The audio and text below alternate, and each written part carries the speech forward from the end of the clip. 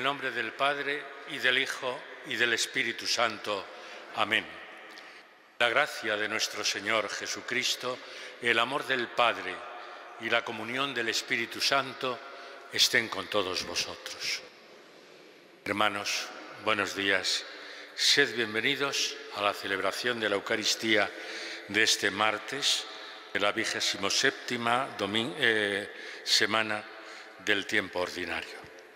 Como siempre también saludamos a todos aquellos hermanos nuestros que a través de Canal 13 Televisión se unen a nosotros en la celebración eucarística. Y ahora, al comenzar estos sagrados misterios, nos reconocemos pecadores y pedimos perdón al Señor por ello.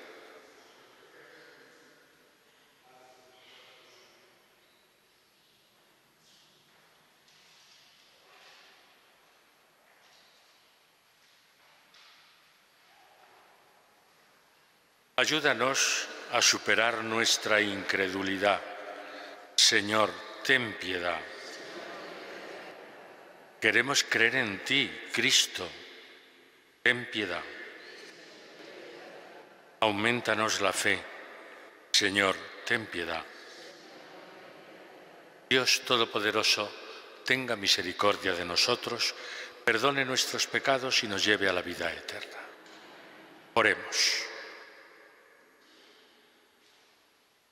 Dios Todopoderoso, que desbordas con la abundancia de tu amor los méritos y los deseos de los que te suplican.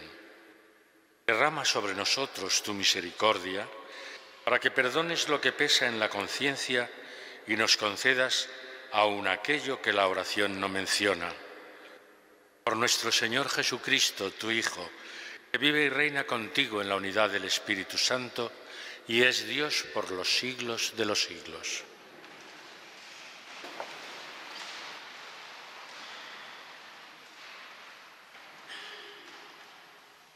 Lectura de la profecía de Jonás. El Señor dirigió la palabra por segunda vez a Jonás. Le dijo así, ponte en marcha y ve a la gran ciudad de Nínive. Allí les anunciarás el mensaje que yo te comunicaré. Jonás se puso en marcha hacia Nínive, siguiendo la orden del Señor. Nínive era una ciudad inmensa. Hacían falta tres días para recorrerla. Jonás empezó a recorrer la ciudad el primer día, proclamando, dentro de cuarenta días, Nínive será arrasada. Los ninivitas creyeron en Dios, proclamaron un ayuno y se vistieron con rudo sayal, desde el más importante al menor. La noticia llegó a oídos del rey de Nínive, que se levantó de su trono, se despojó del manto real, se cubrió con rudo sayal y se sentó sobre el polvo. Después ordenó proclamar en Nínive este anuncio de parte del rey y de sus ministros, que hombres y animales, ganado mayor y menor, no coman nada, que no pasten ni beban agua, que hombres y animales se cubran con rudo sayal e invoquen a Dios con ardor que cada cual se convierta de su mal camino y abandone la violencia. ¿Quién sabe si Dios cambiará y se compadecerá, se arrepentirá de su violenta ira y no nos destruirá? Vio Dios su comportamiento, cómo habían abandonado el mal camino y se arrepintió de la desgracia que había determinado enviarles. Así que no la ejecutó. Palabra de Dios. Si llevas cuenta de los delitos, Señor, ¿quién podrá resistir? Si llevas cuenta de los delitos, Señor, ¿quién podrá resistir? Desde lo hondo a ti grito, Señor, Señor, escucha mi voz. Estén tus oídos atentos a la voz de mi súplica. Si llevas cuenta de los delitos, Señor, ¿quién podrá resistir? Si llevas cuenta de los delitos, Señor, ¿quién podrá resistir? Pero de ti procede el perdón y así infundes temor. Si llevas cuenta de los delitos, Señor, ¿quién podrá resistir? Porque el Señor viene, porque del Señor viene la misericordia, la redención copiosa, y Él redimirá a Israel de todos sus delitos. Si llevas cuenta de los delitos, Señor, ¿quién podrá resistir? Aleluya. Aleluya.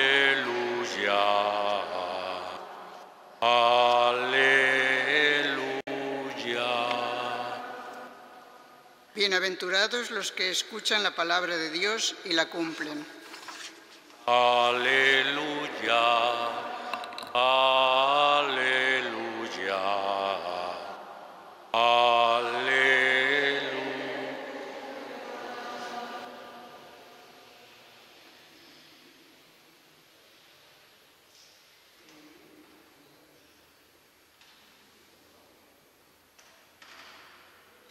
El Señor esté con vosotros.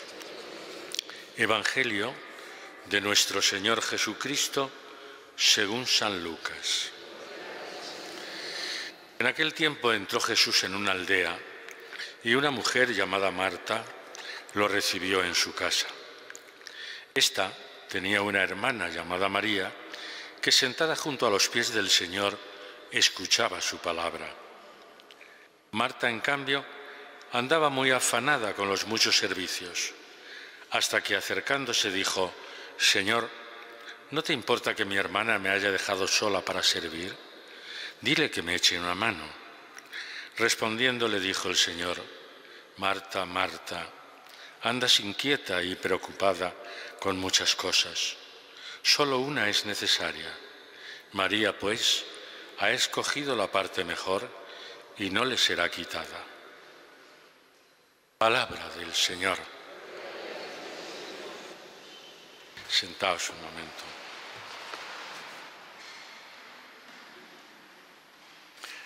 Ayer veíamos como Jonás, el profeta, cuando recibe la orden de Dios de ir hacia Nínive eh, para predicar su palabra, el profeta intenta huir, se va justamente en dirección contraria. Lo veíamos ayer, coge el barco, todo el episodio del pez que le, se lo traga, es una forma simbólica de decir las cosas. Y hoy lo que es consciente Jonás es de que no se puede desobedecer a Dios y que si Dios le pide que vaya a Nínive a predicar, él no puede negarse. Y entonces va. Empieza la lectura de hoy. Eh, el Señor dirigió la palabra por segunda vez, es decir, la primera no había hecho caso y ahora por segunda vez le dice ponte en marcha y vete a la gran ciudad.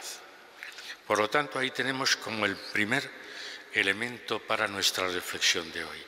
A Dios o de Dios no podemos huir, a Dios no se le puede desobedecer, a Dios hay que escucharle y, en consecuencia, obrar según la voluntad del Señor. Segundo punto es cuando Él empieza a predicar en una ciudad tan grande. Dice, había, eran tres días necesarios para poder recorrerla. Y Él se pone a predicar. Empezó a recorrer la ciudad proclamando dentro de 40, 40 días Nínive será arrasada. Estamos hablando de un pueblo pagano. No pertenecía Nínive al pueblo de Israel, era la capital del imperio asirio.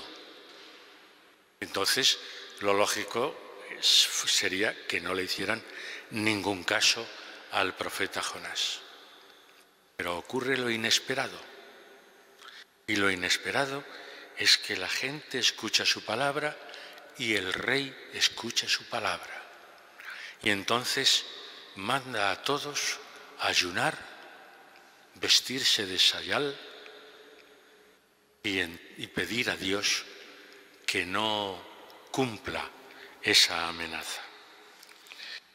Llegó la noticia al rey, que se levantó de su trono, se despojó del manto real, se cubrió con rudo sayal y se sentó sobre el polvo y ordenó proclamar este anuncio a todo su pueblo, que hombres y animales, es decir, se convirtieron, escucharon la palabra del profeta y se convirtieron. Y Dios, ¿qué es lo que hace? Vio su comportamiento, cómo habían abandonado el mal y se arrepintió de la desgracia que había determinado enviarles, así que no la ejecutó. Es decir, cuando un corazón contrito, cuando un corazón apenado por su mal, por el mal que ha, que ha hecho, y pide perdón a Dios, ese Dios le va a tender siempre la mano, el perdón, la misericordia. Es lo que hemos leído también y cantado en el Salmo de hoy, porque del Señor viene la misericordia, la redención copiosa. El pueblo de Nínive escucha la palabra. El pueblo de Israel, sin embargo, parece que tan acostumbrado a la ley de Moisés y a la palabra de Dios, tan acostumbrado que ya parece que les entra por una oreja y les sale por otra. Parece que la palabra de Dios no, no sirve para nada ya en el pueblo de Israel y la escritura nos pone como ejemplo un pueblo pagano que sí que escucha, que sí que se convierte, que sí que pide perdón, que sí que ayuna y se pone en manos de Dios. Es también un punto para nuestra propia reflexión. Quizá nosotros también que hemos escuchado tantas veces la palabra de Dios que da la impresión que hacemos oídos sordos a ella, que esa palabra de Dios ya no nos inquieta, esa palabra de Dios parece que ya, bueno, la hemos oído tantas veces, una más. Y el profeta lo que nos dice es, hay que zarandearnos un poco, hay que removernos por dentro hay que escuchar esa palabra porque en cada momento que se pronuncia y cada vez que la escuchamos, tiene que sonar dentro de nosotros como a algo nuevo, a algo nuevo porque es una invitación a cambiar nuestra forma de vida, es una invitación a escuchar la palabra, es una invitación a arrepentirnos de nuestros pecados. Por eso Volvemos al salmo que hemos leído, que resume muy bien esa primera lectura. Si llevas cuentas de los delitos, Señor, ¿quién podrá resistir? Pero de ti procede el perdón y así infunde respeto. De ti procede el perdón. Escuchemos esta palabra como la escucharon los del pueblo de Nínive, un pueblo pagano que resultaba novedosa esa palabra a los oídos de esa ciudad. Como novedosa es también la palabra que escucha en el Evangelio María. Ella se queda escuchando al Señor. Marta se afana con los muchos servicios y su reacción es lógica. Llega un momento que se planta, se planta y le dice, Señor, dile a mi hermana que me eche una mano. Pero lo importante no es eso. Lo importante es que lo que dice Jesús, Marta, Marta, andas inquieta y preocupada con muchas cosas. Solo una es necesaria. María ha escogido la parte mejor y no le será quitada. ¿Hace mal Marta haciendo las cosas diarias? No, naturalmente que no. Pero para el creyente eso es secundario. Para el creyente la mejor parte es escuchar la palabra de Dios. Esa palabra de Dios que penetra en el corazón del creyente y que entonces, precisamente porque esa palabra de Dios ha sido hecha carne de la carne del creyente, entonces le incita al servicio de los demás, a hacer el bien.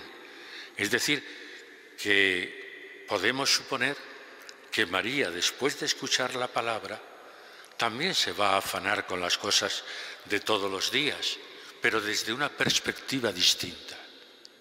porque la palabra de Dios la lleva a cumplir la voluntad de Dios, que es el servicio a los demás. A veces también nosotros, pues, queremos hacer muchas cosas, lo que hemos llamado en la Iglesia muchas veces el puro activismo, hay que hacer por hacer. No, hay que hacer, pero porque la palabra de Dios ha penetrado de verdad en nuestro ser, en nuestros corazones, y eso nos invita, nos incita a servir a los demás de maneras según a cada uno el Espíritu le pueda infundir. Pues esta es la palabra de Dios de hoy. Por una parte, escuchar de verdad la palabra.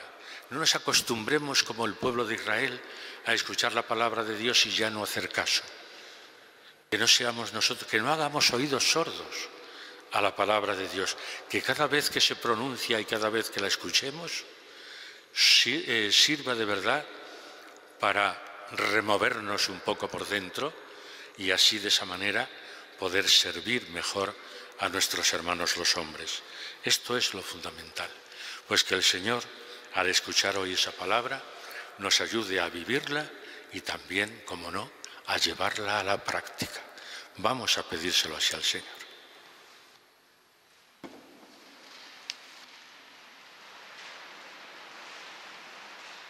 Hermanos, cada día de nuestra vida es una gracia del Señor, ocasión que se nos ofrece para hacer el bien y construir el reino de Dios. Invoquemos al Padre del Cielo para que nos conceda caminar siempre según su voluntad. Por la Santa Iglesia, para que conducida por el Espíritu del Señor sepa reconocer en la vida de cada día los signos que revelan la presencia de Dios, oremos al Señor. Te rogamos, óyenos. Por nuestros pastores, para que mediante el ministerio y la santidad personal sean educadores y padres en la fe, oremos al Señor. Te rogamos, óyenos. Por los hombres que trabajan, para que el esfuerzo cotidiano necesario para el sustento de la familia contribuya a hacer más justas y cordiales las relaciones en la sociedad, oremos al Señor. Te rogamos, óyenos. Para que el Espíritu del Señor conceda salud a los enfermos, consuelo a los tristes, esperanza y paz a todo el mundo, oremos al Señor. Te rogamos, óyenos. Por todos nosotros, renacidos en el bautismo, para que el Señor nos preserve del pecado y nos haga crecer en la experiencia viva de su Espíritu, oremos al Señor. Te rogamos, óyenos. Asiste, oh Padre, a tus hijos en el camino de cada, de cada día y ayúdales a vivir con gozo los acontecimientos de la vida cotidiana. Por Jesucristo nuestro Señor. Amén.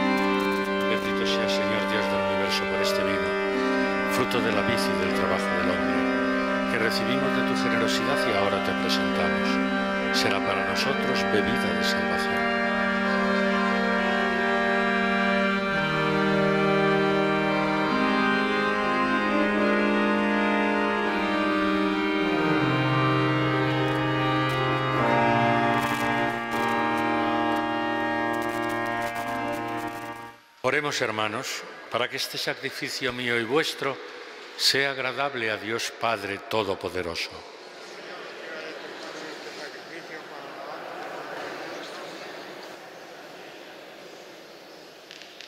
Acepta, Señor, el sacrificio establecido por ti y por estos santos misterios que celebramos en razón de nuestro ministerio.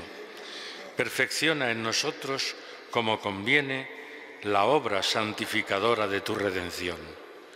Por Jesucristo nuestro Señor, el Señor esté con vosotros. Levantemos el corazón. Demos gracias al Señor nuestro Dios.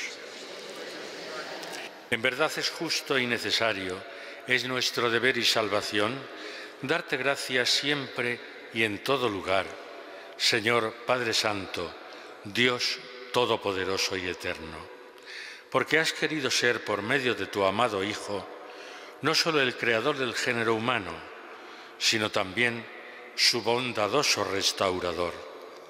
Por eso, con razón te sirven todas las criaturas, con justicia te alaban todos los redimidos y unánimes te bendicen tus santos.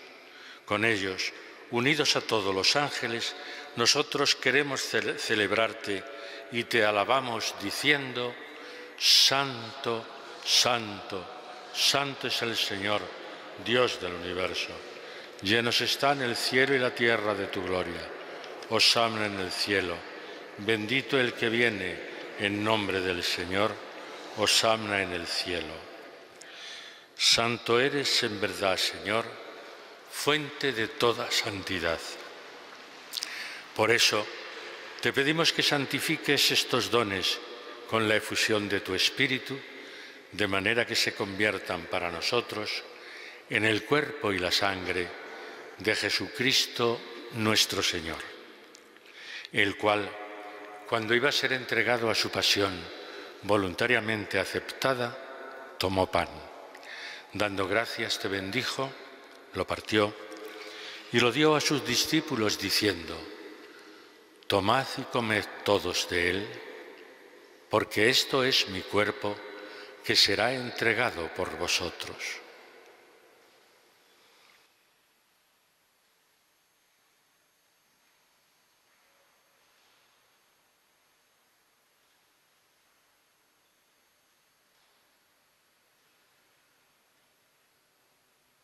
Del mismo modo, acabada la cena, tomó el cáliz y dándote gracias de nuevo, lo pasó a sus discípulos diciendo, Tomad y bebed todos de él, porque este es el cáliz de mi sangre, sangre de la alianza nueva y eterna, que será derramada por vosotros y por muchos para el perdón de los pecados. Haced esto en conmemoración mía.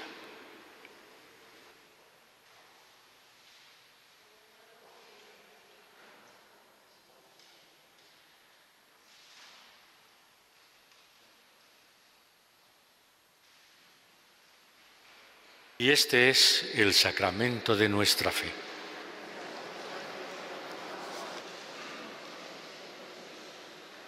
Así pues, Padre, al celebrar ahora el memorial de la muerte y resurrección de tu Hijo, te ofrecemos el pan de vida y el cáliz de salvación y te damos gracias porque nos haces dignos de estar aquí en tu presencia celebrando esta Eucaristía te pedimos humildemente que el Espíritu Santo congregue en la unidad a cuantos participamos del cuerpo y la sangre de Cristo.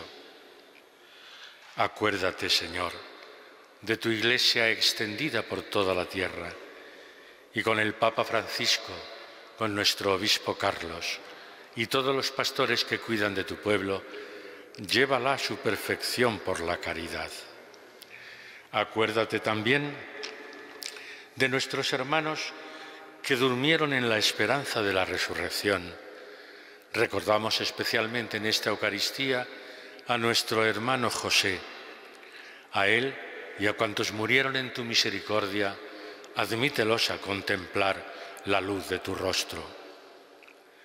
Ten misericordia de todos nosotros, y así con María, la Virgen Madre de Dios, su esposo San José, los apóstoles y cuantos vivieron en tu amistad a través de los tiempos, merezcamos por tu Hijo Jesucristo compartir la vida eterna y cantar tus alabanzas. Por Cristo, con Él y en Él, a ti Dios Padre Omnipotente, en la unidad del Espíritu Santo, todo honor y toda gloria por los siglos de los siglos. Amén. Y ahora sabiendo, como hemos escuchado en la palabra de Dios, que Dios es misericordioso, que escucha siempre a aquel que le pide perdón porque está arrepentido de corazón, vamos a dar gracias al Padre y vamos a hacerlo con las mismas palabras que Jesús nos enseñó.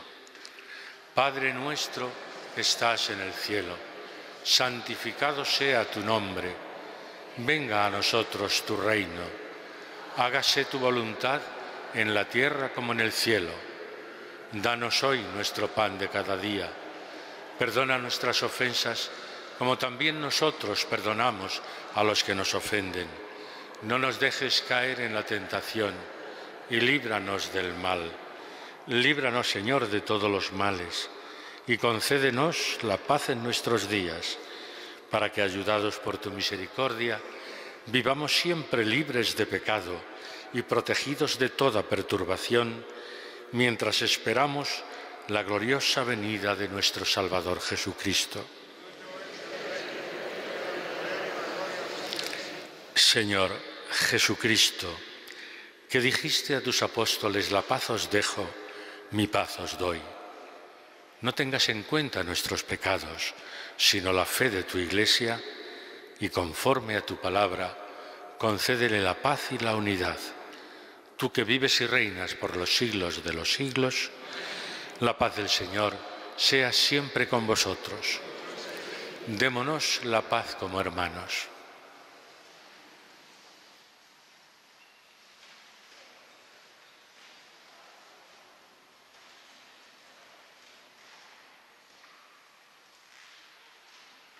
Cordero de Dios que quitas el pecado del mundo, Cordero de Dios que quitas el pecado del mundo, Cordero de Dios que quitas el pecado del mundo, danos la paz.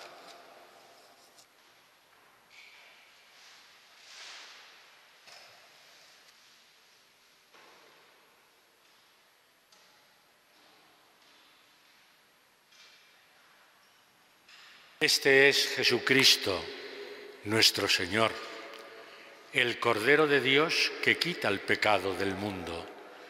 Dichosos los invitados a esta cena. Señor, no soy digno de que entres en mi casa, pero una palabra tuya bastará para sí. El cuerpo y la sangre de Cristo me guarden para la vida eterna. Amén.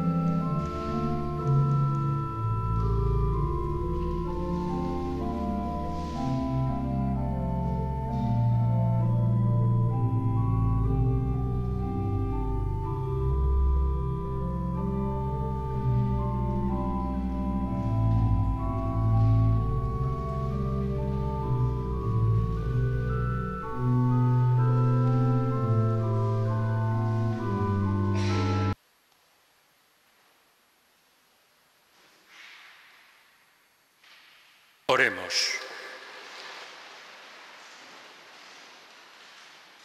Concédenos, Dios Todopoderoso, que nos alimentemos y saciemos en los sacramentos recibidos, hasta que nos transformemos en lo que hemos tomado. Por Jesucristo nuestro Señor, el Señor esté con vosotros. La bendición de Dios Todopoderoso, Padre, Hijo y Espíritu Santo, descienda sobre vosotros. Podéis ir en paz.